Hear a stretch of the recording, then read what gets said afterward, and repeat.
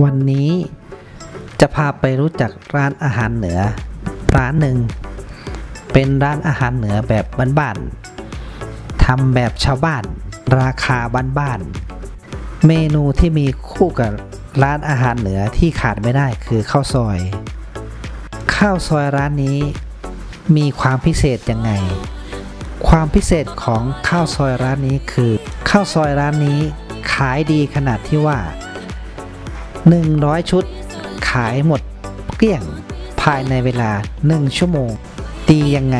อร่อยขนาดไหนเขาทำยังไง เรามาติดตามกัน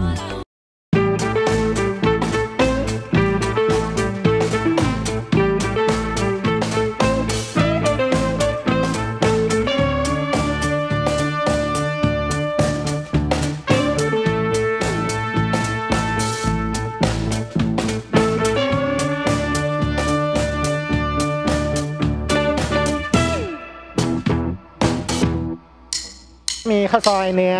ข้าวซอยไก่เป็นหลัก แล้วผมพริกแพงก็คือเอาหมูอบโอ่งมาทำมาทำเป็น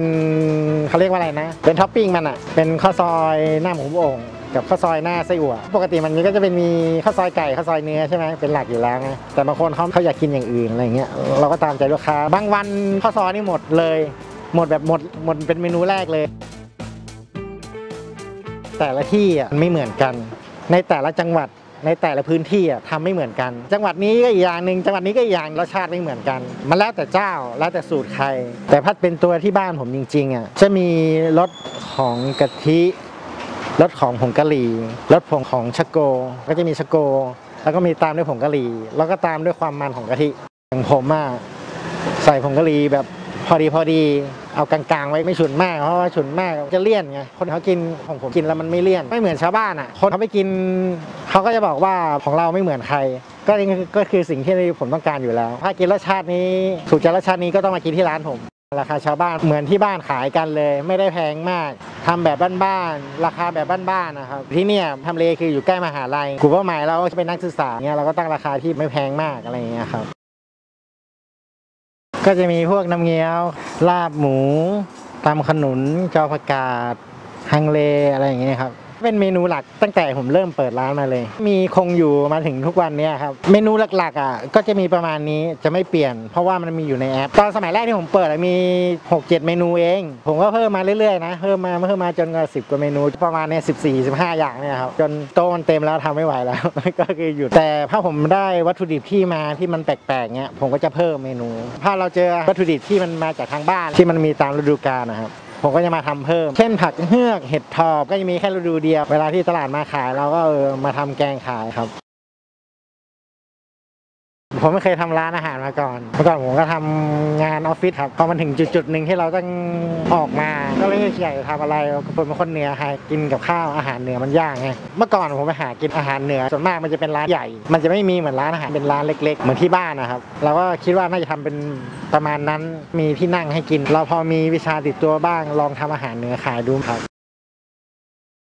ไม่ได้เรียนนะครับ เพราะว่าผมเป็นคนบ้านนอก ผมเป็นคนเชียงราย ก็เอาสูตรจากที่ได้จากยายมาครับ มาทำผมทำอยู่กับยายมาตลอดทำกับข้าวกับยายมาตลอดอะครับ เด็กบ้านนอกอะครับ เวลายายหุงข้าวทำกับข้าวเนี่ย เราจะต้องไปช่วย พอเราเรียนรู้เรื่อยๆเราก็ทำบางอย่างเป็นอันไหนเราไม่เข้าใจเราก็ถามเอา คล้ายๆ เหมือนโดนบังคับให้ทำนั่นแหละ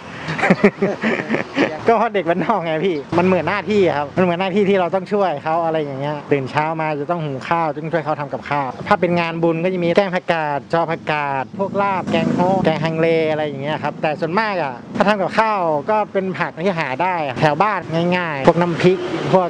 แกงผักต่างๆเนี่ยครับ เงียบนะพี่ เพราะว่าเขา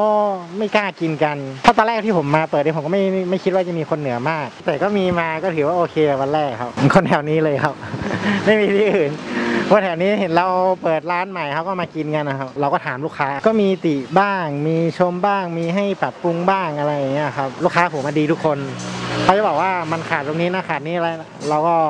ก็ปรับปรุงมาเลย ทุกวันนี้ก็ยังปรับปรุงอยู่ ไม่ได้มีอะไรตายตัว ถ้ามันไม่ดีมันอะไรเนี่ยถ้าลูกค้าแนะนำมันดีอะเราก็จะมาทำ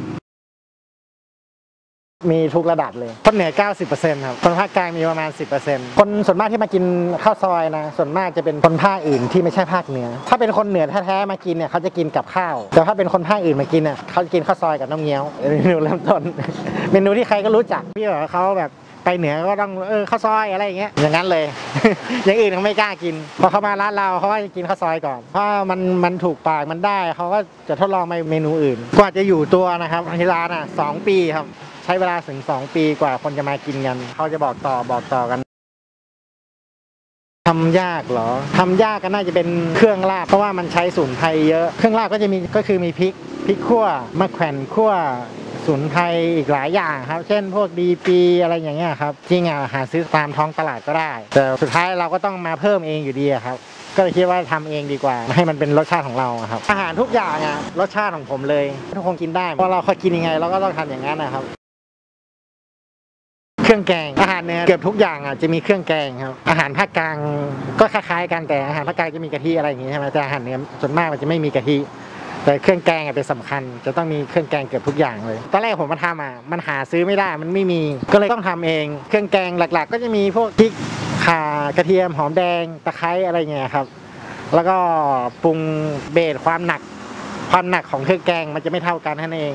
แล้วก็ดึงรสชาติของอาหารแต่ละอย่างออกมาครับส่วนมากอะที่กินหนักๆที่คนภาคอื่นเขาจะไม่ชอบเขาจะกินมะแขวนถ้าใส่มะแขวนเยอะๆเนี่ยภาคอื่นเขาจะกินไม่ได้กัน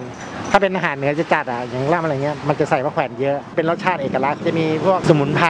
อีกอพอสมควรส่วนมากเขาก็บอกว่าอาหารเหนือมันแบบว่ากินมันแปลกๆรสชาติมันแบบยังไงยังไงไม่รู้อะไรเงี้ยตอนที่ผมมาทำแรกๆนะไม่ได้จัดครับไม่เผ็ดกลางๆ กลางๆ ให้คนทั่วไปกินได้มากินกัน เป็นภาษาเหนือครับแปลตรงๆเลยภาษาไทยก็มากินกันนะครับ เริ่มต้นอย่างถูกสุดก็มีตำขนุนกับน้ำพริกอ่อง 35 บาท ที่เหลือก็จะ 45 60 65 แล้วแต่ว่าใช้เนื้ออะไรครับผม ที่นี่ก็ซอยรัชดา 32 ครับผมอยู่ตรงข้ามกับศาลอาญาครับเข้าซอยรัชดา 32 อยู่แยกที่ 2 ให้นับแยกครับไม่ต้องดูป้ายเข้ามาอยู่แยกที่ 2 แยกใหญ่ครับ ขวามือตรงแยกเลย ร้านเล็ก ๆ ครับไม่ได้ใหญ่ เปิดอังคารถึงวันอาทิตย์ครับผม9โมงถึง2ทุ่มครับผม ร้านหยุดทุกวันจันทร์ครับ ถ้าจะมานะครับแนะนำว่าให้เปิดดูเมนูของแก๊ปเหรือพวกของออนไลน์ก่อนว่าเหลือเมนูอะไรบ้างครับ แล้วก็มาที่ร้านเดี๋ยวเพราะว่าผมจะอัปเดตเมนูพวกออนไลน์อยู่แล้วนะครับว่ามีอะไรบ้างในแต่ละวันนะครับ เมนูไหนไม่มีผมก็จะปิดส่วนมากลูกค้าผมก็ทำอย่างั้นหมดเลยนะเพราะเขาจะมาทานที่ร้านเลยเขาก็จะดูก่อนเมนูเหลืออะไรบ้างเบอร์โทร 0 9 3 9 6 1 3 5 2 2 ครับ Facebook ก็มากินกันเลยครับ